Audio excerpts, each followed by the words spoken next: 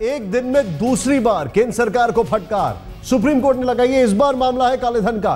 काले धन पर सुप्रीम कोर्ट ने केंद्र सरकार से सारे नाम देने को कहा है। सुप्रीम कोर्ट ने आज काले धन पर सुनवाई करते हुए कहा कि कल तक सरकार उन सारे लोगों के नाम सीलबंद लिफाफे में एसआईटी को दे।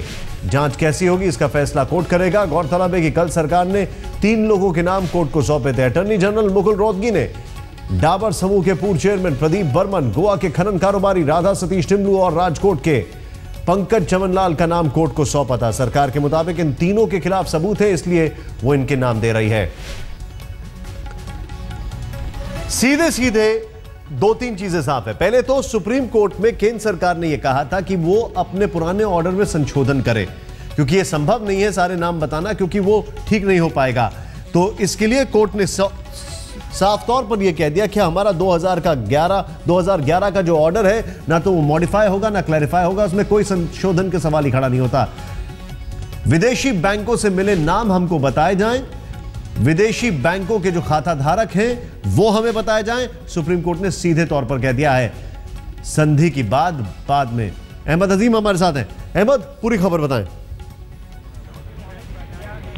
देखिए कुल मिलाकर आज सुप्रीम कोर्ट में केंद्र सरकार की तमाम जो दलीलें थी वो एक तरह से कह सकते हैं कि खाली चली गई उन्होंने अपनी तरफ़ से पूरी कोशिश करी अटॉर्नी जनरल से अटॉर्नी जनरल ने ये समझाने की कि क्यों आखिर वो इस अर्जी, क्यों आखिर उन्होंने ये अर्जी लगाई, जिसमें उन्होंने कहा है कि डबल टैक्सेशन ट्रीटी के तहत वो कई कई जो नाम है, वो तब तक उनका खुलासा नहीं कर सकते हैं, जब तक कि ये साबित नहीं हो जाता हो जाता है प्राइमरी इन्वेस्टिगेशन के बाद इनिशियल इन्वेस्टिगेशन के बाद कि जो पैसा जमा है विदेशी बैंकों में किसी किसी व्यक्ति का, वो चुराया हुआ पैसा, यानी कि टैक्स चोरी का पैसा है या वो काला धन है।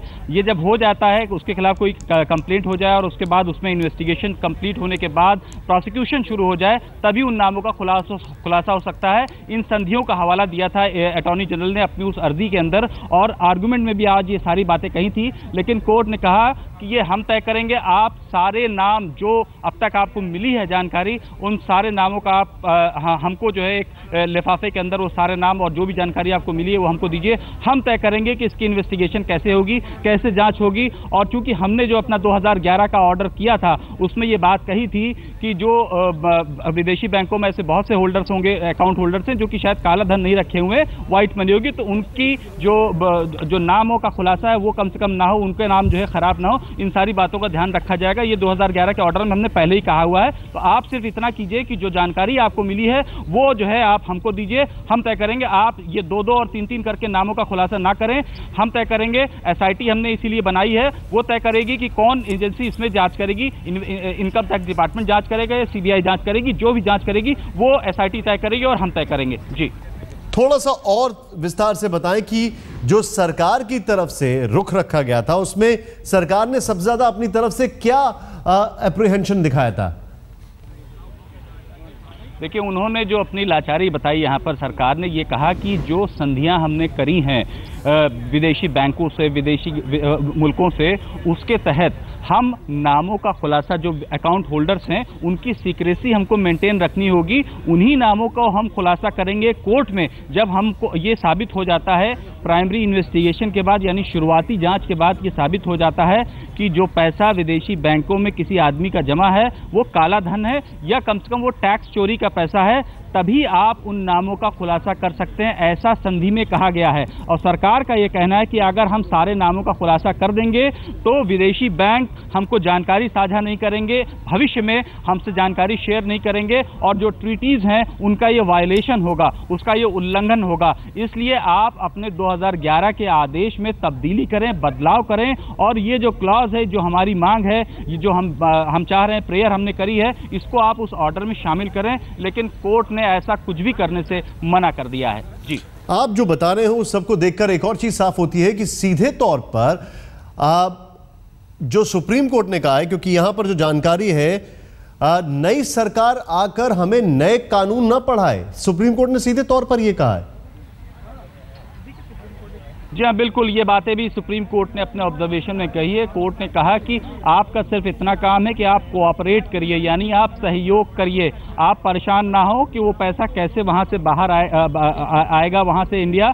हमने इसके लिए एक एसआईटी बना दी है और आ, जो बातें आप हमको बता रहे हैं हमने 2011 में जो आदेश पारित किया था, उस समय जो सरकारी गवर्नमेंट ऑफिसर लीगल ऑफिसर जो है एडिशनल सॉलिसिटर जनरल की मौजूदगी में हमने ये आदेश पारित किया था और इन ट्रीटीज का कभी कहीं भी उन्होंने ज़िक्र नहीं किया था, ना ये बताया था कि ऐसी दिक्कतें हमको आ सकती हैं भविष्य में कि हमसे कोई भी बैंक जानकारी साझा नहीं करेगा। ये बातें हमको जो है कभी भी जो है सामने नहीं रखी गई थी। और हमने तो खुद अपने ऑर्डर में इन बातों को कहा हुआ है कि अकाउंट होल्डर्स जो फॉरेन बैंक में, जिनके अकाउंट्स हैं उनके नाम, ऐसे लोग जिन्होंने जेनविन अकाउंट वहाँ पे खोला हुआ है और कहीं से भी वो काला धन नहीं है, उनकी जो कॉन्फिडेंशियलिटी है, उसको जो है बरकरार रखा जाएगा। एजेंसीज जो कि जाँच करेंगी, वो इस चीज़ को मेंटेन करेंगी। तो इसलिए आप इस चीज़ की चिंता ना करें। आप सिर्फ़ वो सारी जानकारियाँ सुप्रीम कोर्ट में, यानी कि कल तक कल तक सुप्रीम कोर्ट में सौंप दें और हम तय करेंगे कि जाँच कैसे होगी। जी। एक और चीज़ मैं यहाँ पर जानना चाहूँगा, यानी कि अभी तक, देखिए, कानूनी कार्रवाई अलग है, अहमद। कानूनी जो बातचीत हुई वो अलग है। लेकिन एक और चीज़ साफ़ ये होती है कि इसका मतलब जो चुनावी बड़े बड़े वादे किए गए थे, चुनाव में जो बड़ी बड़े दम भरकर नारे लगाए गए थे, जब सुप्रीम कोर्ट में जाते हैं तो सब कुछ टाटा फिस। वही ढाक के तीन पात। हाँ बिल्कुल, देखिए देखिए देखिए, दावे करना, चुनावी वादे करना वो अलग चीज़ होती है और जब आप उसको एग्जीक्यूशन में आते हैं तब जो उसके माइन्यूट डिटेल्स हैं जो उसमें परेशानियाँ हैं जो दिक्कतें हैं उनसे आपका सामना होता है और तब आप जो है अर्जी लगाते हैं। जो इससे चुनाव आपने चूँकि ये सवाल उठाया है निशान तो चुनाव के दौरान तो इसको एक सबसे बड़ा मुद्दा बनाया था भारतीय जनता पार्टी ने और इसको इसके ऊपर उनको बहुत सहयोग भी मिला। बाबा रामदेव से और तमाम और जो दूसरे संगठन है उनसे। उसके बाद अब जब ये करने की बारी आई है अहमद आपको मैं थोड़ा सा रोकूँगा। प्रशांत भूषण क्या कह रहे हैं? आइए देखते हैं। सुप्रीम कोर्ट ने गवर्नमेंट की ये दलील कि भाई वो पुराने जो ऑर्डर्स थे, जिसमें कि उन्होंने नाम डिस्क्लोज करने के लिए कहा था, उनको मॉडिफाई किया जाए या क्लैरिफाई किया जाए, वो दलील आज सरकार की ठुकरा दी और उनको बोला है कि हमको तुरंत नाम दो, जो कि जितने भी तुमको मिले हैं चाहे जर्मनी से चाहे फ्रांस से चाहे किसी और देश अरविंद केजरीवाल की जो एप्लीकेशन है वो किस बारे में है और किन नामों की चर्चा करती है क्या वो एप्लीकेशन नहीं अरविंद केजरीवाल ने तो इंटरवेंशन की एप्लीकेशन दी है जिसमें बताया है कि दो साल पहले कुछ जो इन्फॉर्मेशन उनको कुछ विसल ब्लोअर से मिली थी जिसमें कि एच बैंक के कई नाम जिसमें बड़े बड़े नाम हैं वो उस समय डिस्क्लोज करे थे कि HSBC में जिनके अकाउंट्स हैं।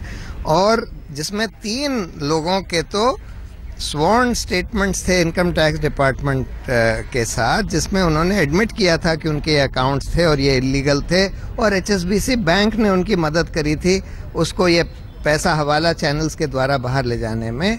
वो नाम का भी कोई अक्सर हम कहते हैं, नेताओं को जनता सुनती है, लेकिन आज जो हमारे संवाददाता वहाँ पर बैठे हैं, शायद उनको भी जनता बड़े ध्यान से सुन रही है। क्योंकि जो अभी तक बीजेपी ने वादे किए थे, बीजेपी ने जो चुनावी नारे लगाए थे, सुप्रीम कोर्ट में जाके सारे टाइटाए फिस क्यों? क्योंकि यहाँ पर सुप्रीम कोर्ट ने आज, जरा ध्यान से देखें आप, एक दिन में दो बार केंद्र सरकार को फटकार लगी है। दूसरी बार आज जब फटकार लगी है तो सुप्रीम कोर्ट ने सीधे तौर पर केंद्र सरकार से कहा है कि नई सरकार आई है। हमें आकर यह ना बताएँ कि हम अपने रूल्स और जो हमारे जो हमने बना रखे हैं कानून, उसको मॉडिफाई या क्लैरिफाई करें। अहमद अजीम इस वक्त हमारे साथ हैं। अहमद, सीधे तौर पर आज ये माना जाए, देखिए एक, मैं आपसे एक आम दर्शक, एक आम जनता के हिसाब से एक सवाल पूछ रहा हूँ। सवाल यह है कि केंद्र सरकार को सुप्रीम कोर्ट में बस एक लिस्ट सौंपनी थी नामों की खाता धारकों की। उसको उजागर करते, नहीं करते, वो काम सुप्रीम कोर्ट का होता, वो काम एसआईटी का होता। लेकिन इन दोनों को मिक्स कर दिया गया और बोला गया कि हमारी संधि इसलिए वो नाम सामने नहीं ला सकते। क्या ये बात सही है?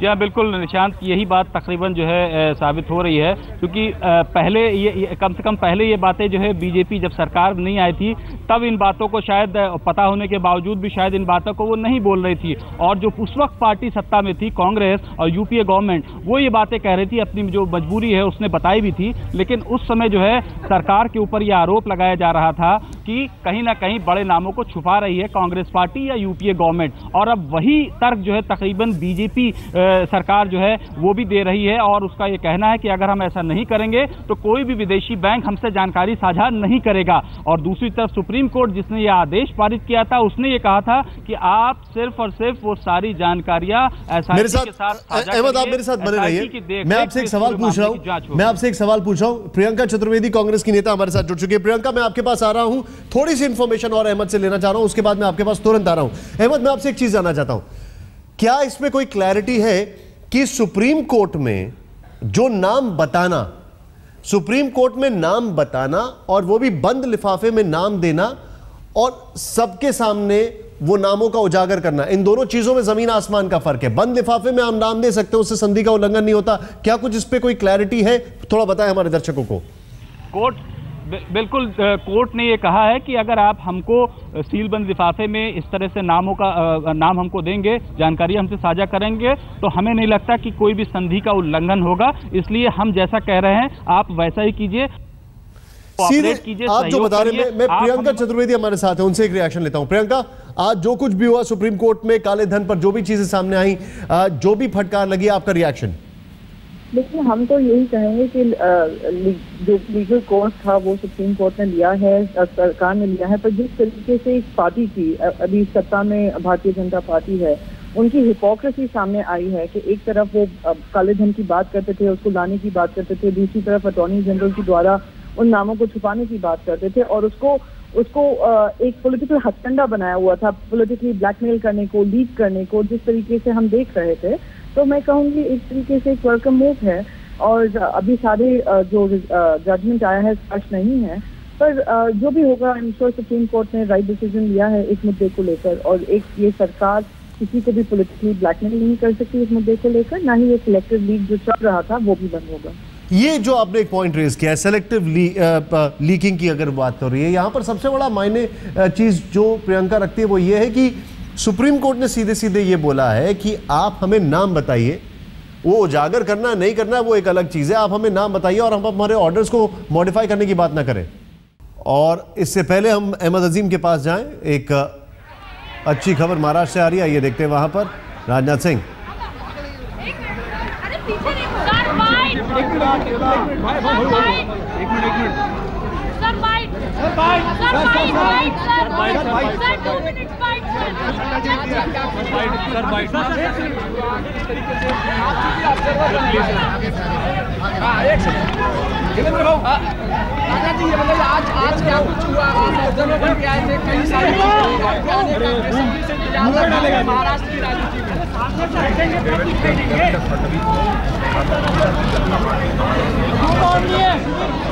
इधर से इधर से एक एक और सवाल। शिवसेना को लेकर बहुत क्यूरोसिटी है पूरे महाराष्ट्र के भीतर शिवसेना क्योंकि महाराष्ट्र के लोग भी कह रहे थे कि राजनाथ जी ही डिसीज़न लेंगे। राजनाथ जी।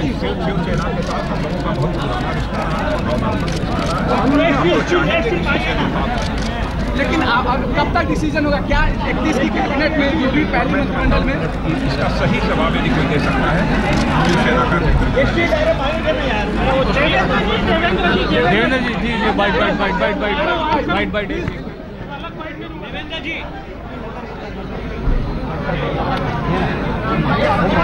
चल चल चल चल चल माथुर साहब माथुर जी